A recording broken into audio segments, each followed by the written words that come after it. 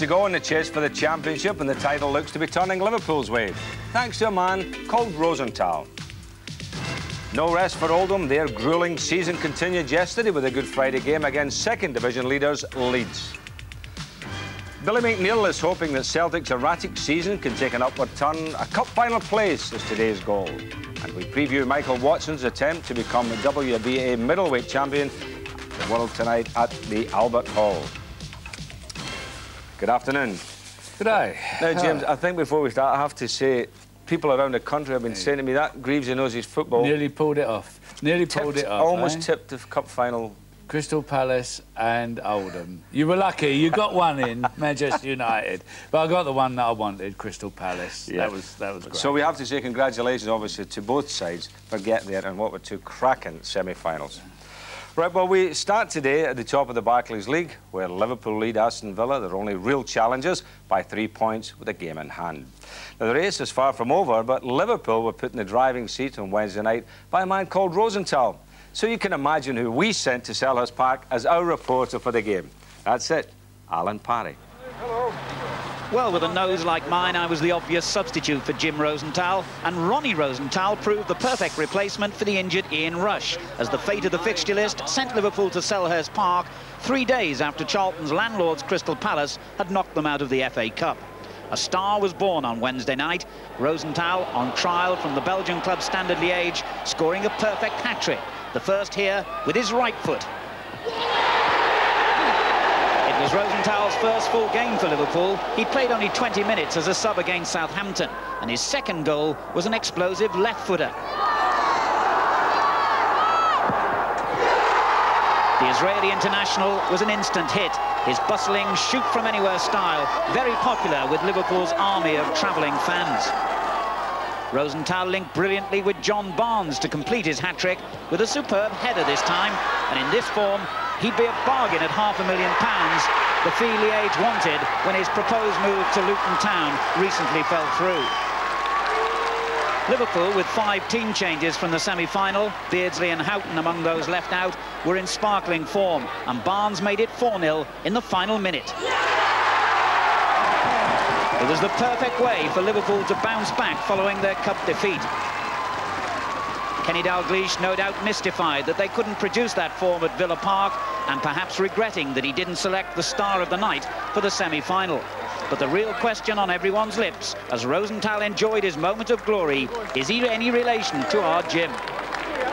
I, uh, I don't I don't know somebody who is uh, close to me in England, Rosenthal. So He's the presenter of the year. You must know him. I, I I've heard about him. Yeah, everybody say to me that Jim Rosenthal uh, maybe is uh, somebody from my family, but I got to tell you, you're a much better player than him. maybe you know better than me. Well, meanwhile, Liverpool's two rivals for the First Division title, Arsenal and Aston Villa, were in opposition at Highbury. Merson. Towards Alan Smith. Pushed away brilliantly by Spink.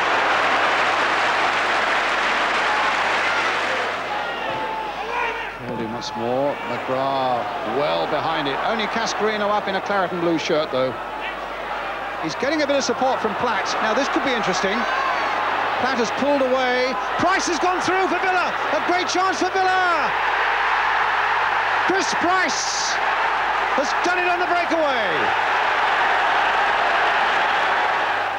So while Villa were doing well at the top of the table, Manchester City were struggling away for points in their battle to avoid relegation against Queen's Park Rangers. Started well though, Ian, with uh, Clive Allen knocking one in there. A typical Clive Allen goal. Actually, they look as though they're battling their way out of trouble now, Yes, don't they, Manchester so. City? They're playing well, particularly since that game against Villa that we showed. And here comes uh, Well, a Mark, couple what- of chances that really went begging, didn't they? Yes. uh, including Niall Quinn missing one there. But then Rangers, of course, they, they, they got themselves on the sheet with an equaliser. Roy Wegerle um, knocking it in there. But they fought back City and uh, up come Big Hendry and knocked in number two. And I think that they were on their way then. Yes. that, that, that's just about the end of it. Another good goal from Mark Ward coming up. Left by Niall Quinn there. Well taken, well struck effort mm -hmm. that. His third in three games, so he's going well. Yeah, been a good acquisition yep. for them. Goodbye. A good and as buy. you say, Jim, I think they're getting out of it all right. Yeah, it looks, it looks that way, doesn't uh -huh. it? Yeah.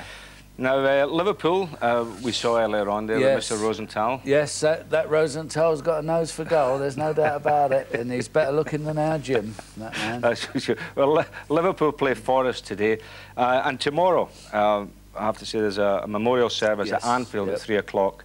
Uh, it's a year tomorrow since the Hillsborough disaster, and the memorial service will be held at Anfield tomorrow.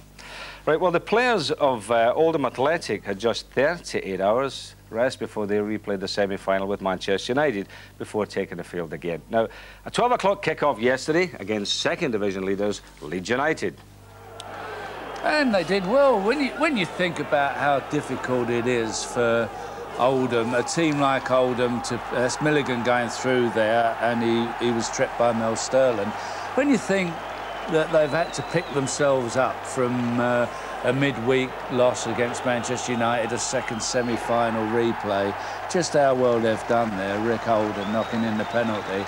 Uh, really, this is a supreme effort by Oldham because I think quite a few of us were looking to see whether they were going to crumble or not, but uh, they've come back with, with a vengeance. Ball bouncing about there. Our Mervyn Day hitting him in the chest and uh, Rick Holden making Rick Holden again. I think the one thing, Jim, the, the, the, emotional trauma of Wednesday plus the physical exertions of the game were amazing for them to come back and play like this. Frankie Bunn has taken a lovely Bunn, hot and cross because yeah. he's not been in the side and it was Good Friday. So, yeah. uh, it, it's a great effort. It, it, uh, it and it, keeps them in the driving seat, of course, uh, for the playoffs, which of course is important. -huh. Good goal that. Bobby well Davison. taken by Bobby Davison. But Leeds haven't won for four games and they play Sheffield United at home on Monday. So it's all to play for in that division, isn't all there? All to play for. But also in the second division during a week, there were impressive wins for some of the sides chasing Leeds. And here with the roundup is Martin Tyler. Sheffield United strengthened their position in second place in the second division despite going a goal down after four minutes to Watford on Tuesday. Gary Penrice, his fifth in five games. United had lost their previous two, but Paul Stancliffe's long throw caused complete confusion eight minutes before half-time. Eventually, Tony Agana smacked in the equaliser. Two minutes into the second half, Sheffield United into the lead, Colin Hill's cross very much in the Sheffield United style. Bob Booker first to it with a fine header under pressure. 2-1 and Watford's hopes of a recovery ended by a strange goal. Tony Coton, a most capable goalkeeper, but deceived by the spiteful bounce on Brian Deane's shot. A soft goal gratefully received by Sheffield United.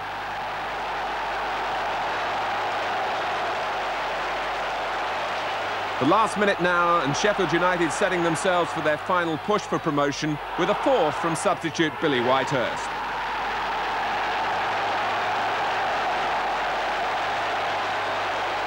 Newcastle United stayed three points further back in third place. Their midweek success at the expense of West Bromwich Albion. The opening goal from John Anderson, an Albion reserve way back in the 70s. In the second half, a milestone for Mick Quinn, his 30th league goal of the season, 34 now in all competitions. Like most of them, he was there at the right time. And Newcastle needed it too because West Bromwich Albion kept going right until the last when Don Goodman was rewarded for his persistence. 2-1 to Newcastle. With Swindon, Sunderland and Blackburn all losing in midweek, more possibilities of a playoff place for Wolves thanks to a typical charge by Steve Bull against Leicester. His first past Martin Hodge after six minutes.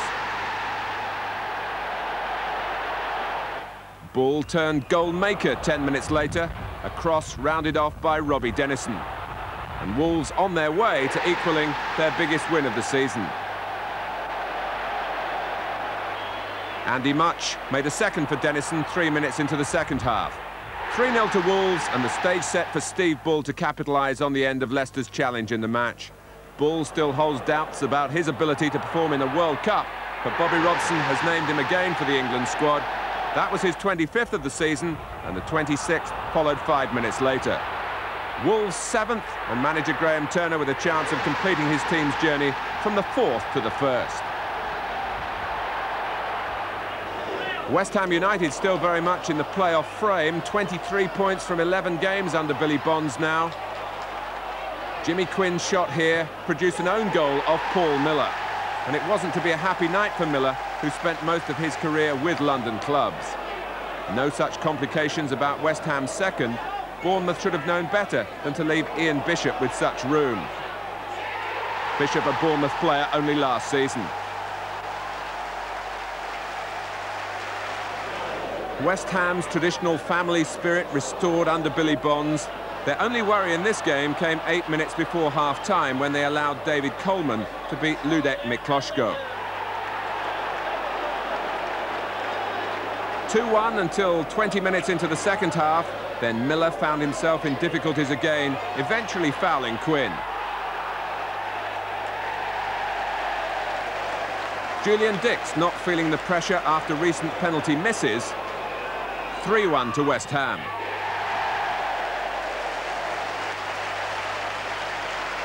They've scored 19 times in their last six games now.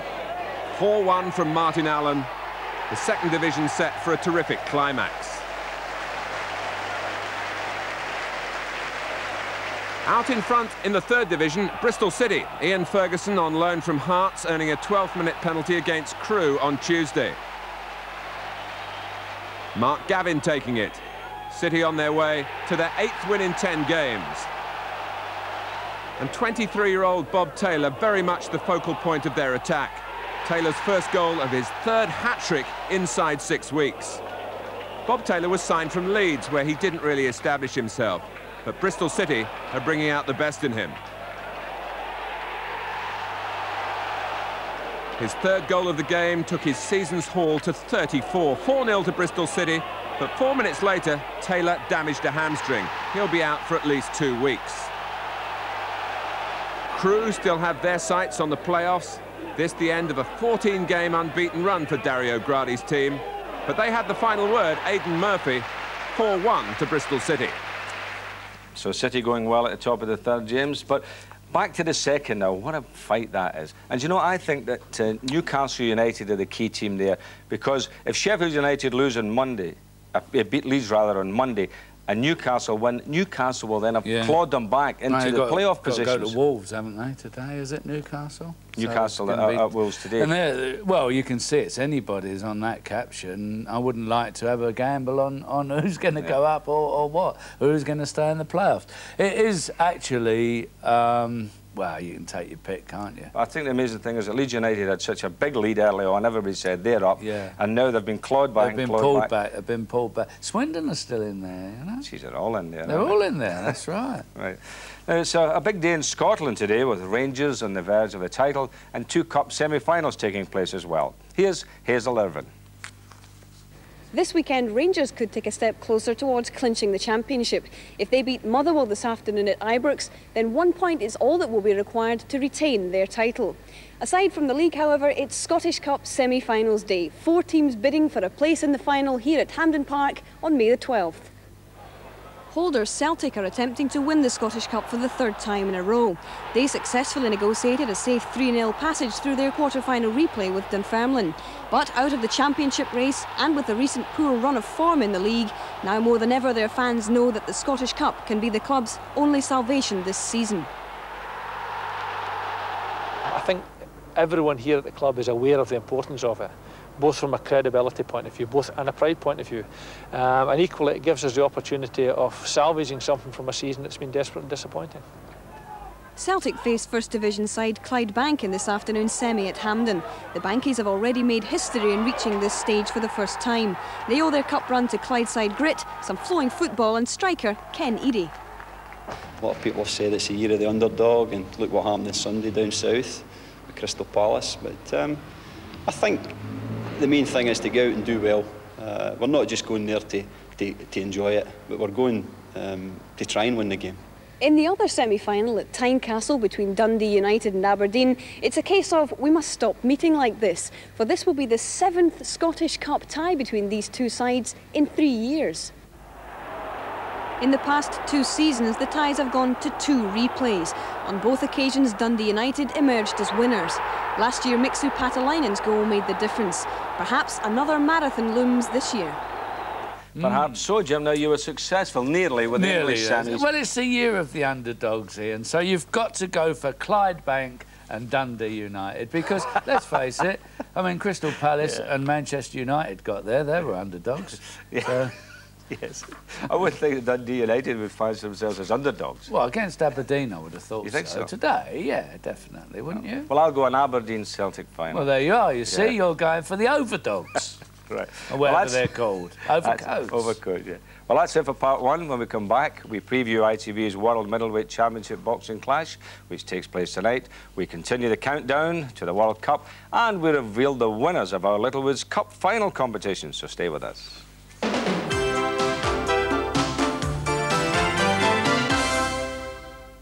Tonight at 11.15 on ITV, Britain's Michael Watson takes on champion Mike McCallum in a WBA World Middleweight title clash. Tonight at 11.15, only on ITV. You know it happened right here 20 years ago. Right here, Mum. Mm-hmm. You just can't imagine what it felt like. I'd like to buy the world a home and furnish it with love. Grow apple trees and honey bees and snow white turtle doves. I'd like to Can't teach stop it. the world Can't stop it. The feeling you get from a Coca-Cola. Can't beat the feeling. I'd like to teach the world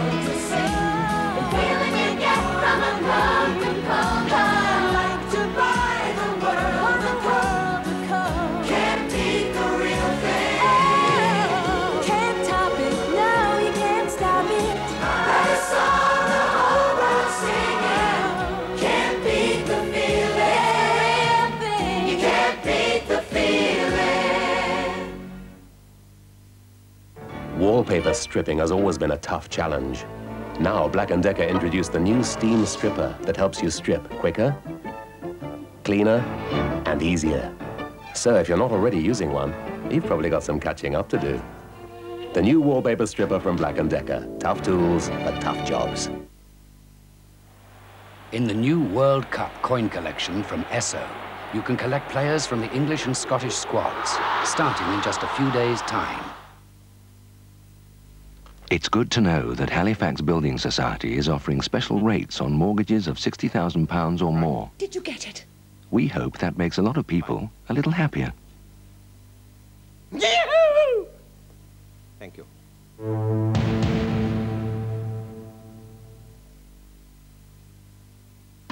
Last year, the London Marathon was yet again the world's number one marathon.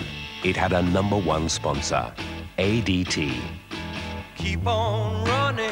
ADT is the world's number one in electronic security protection. ADT is also the world's number one vehicle auction company. Now, get on your marks for this year's ADT London Marathon and show the world who's number one. It's my husband. Quick, get in the wardrobe. Need a wardrobe? Countrypine Wardrobes 20% off at Texas.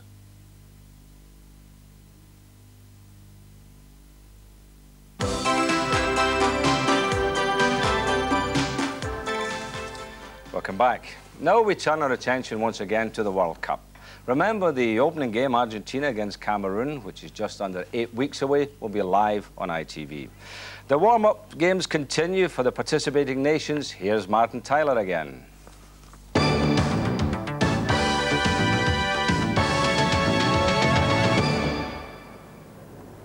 Andy Roxburgh was in Algiers to check on Sweden, one of only a handful of spectators who saw Klas Ingesson concede a penalty after 15 minutes. And a Sweden side captained by Liverpool's Glenn Hysén, a goal down. Thomas Ravelli beaten by Abdelhamid Serrar. Sweden equalised with a penalty of their own. The foul on Anders Limpar, who plays in Italy with Cremonese. The Swedish officials were angry at the organisation of the match at a time when no crowd could be present on religious grounds because of Ramadan. But they were relieved that Stefan Schwarz earned a draw for them in such strange circumstances. Austria beat Hungary 3-0 in Salzburg. Peter Artner taking advantage of a clever free kick. Remember that Austria won 3-2 in Spain last month, so their World Cup preparations are going well. An injury to striker Gerhard Rodax meant an early opportunity in this match for substitute Andreas Ogris. He took his chance with the second goal, 2-0, two minutes before half-time. And nine minutes from the end, another substitute did his best to impress the coach Josef Hickersberger. Christian Keglevits of Rapid Vienna. Austria 3, Hungary nil.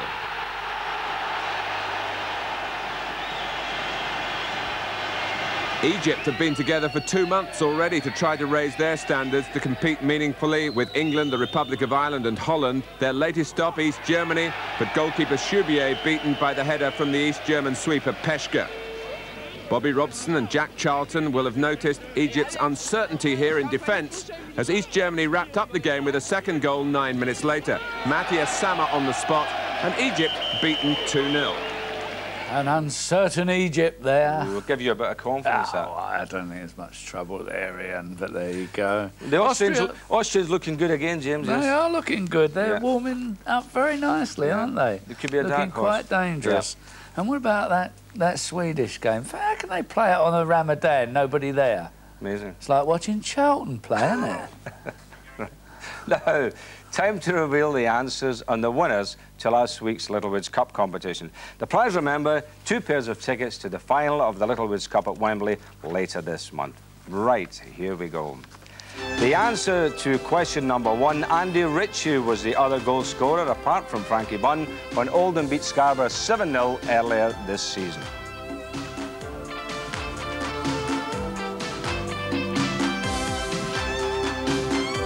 Question two. Paul Robinson was a Scarborough teenager who scored on that dramatic night when Chelsea fell victim in the Littlewoods Cup second round. Question number three. The unlucky goalkeeper who saw eight Sheffield Wednesday goals sail past him was David Coles of Aldershot.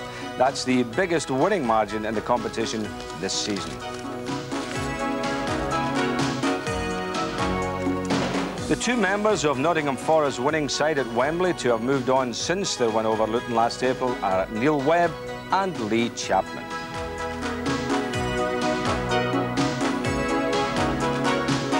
And Swindon against Bolton was a match that went to four games before being settled in the third round of this season's Littlewoods Cup competition.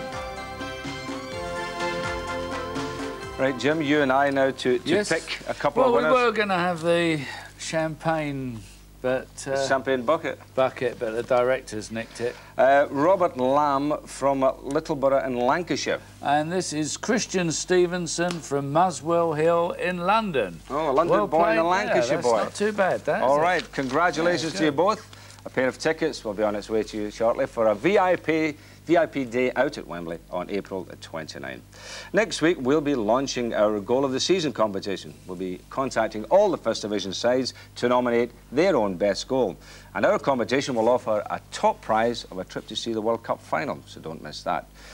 Now, more prizes as we announce the Barclays Young Eagle of the Month award for March, and Bobby Robson has gone for one of his World Cup opponents, Jim. Yes, uh, Steve Staunton of Liverpool. And, I must say that the panel were very complimentary There, about were, there was a few sort of, I mean, Bobby Robson said he's good and consistent and his performances merit the award.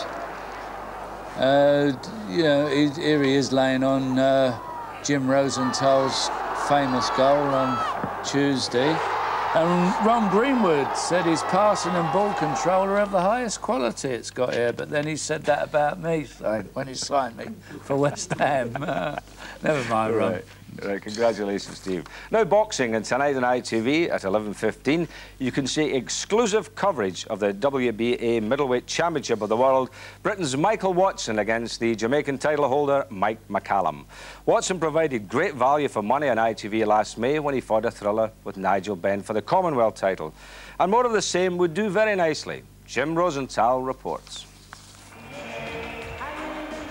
When Nigel Benn fought Michael Watson last May, Benn's entry was quite outrageous. Watson refused to be blinded by the sequins or intimidated by the Dark Destroyer. He went about his business superbly in the fight of the year. He had a plan, it worked perfectly. Oh, he's gone.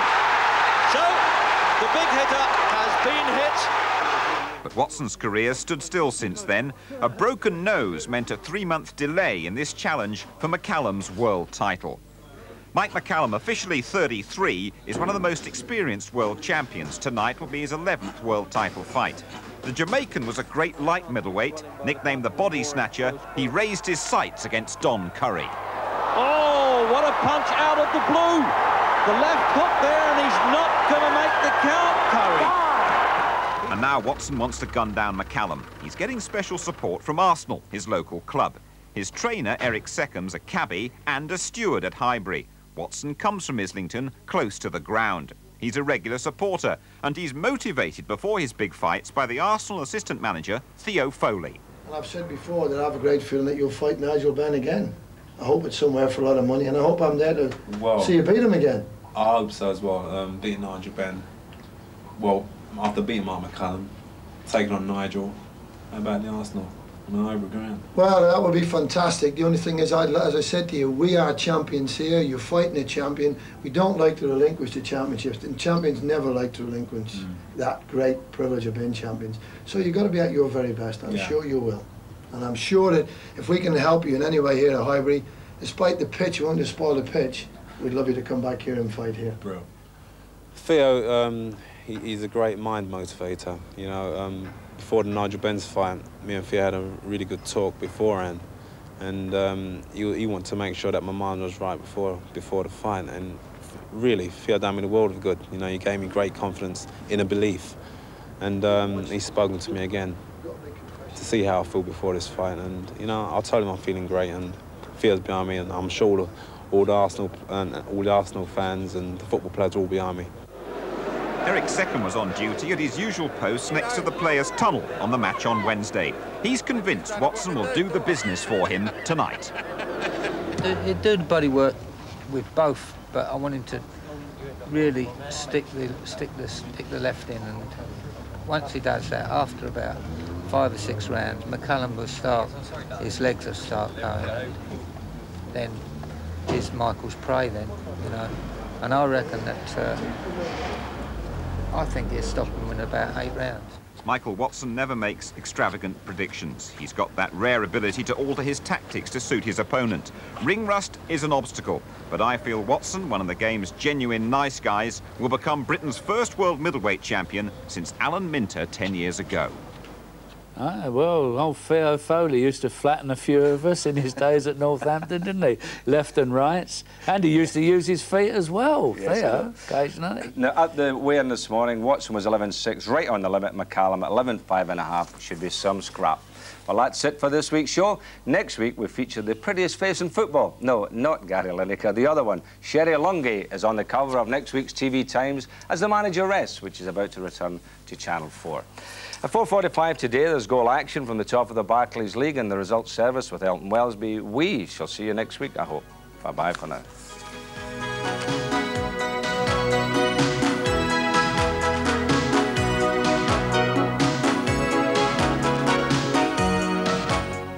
Next this afternoon, Dickie Davies presents the last quarter-final of Sportsmasters.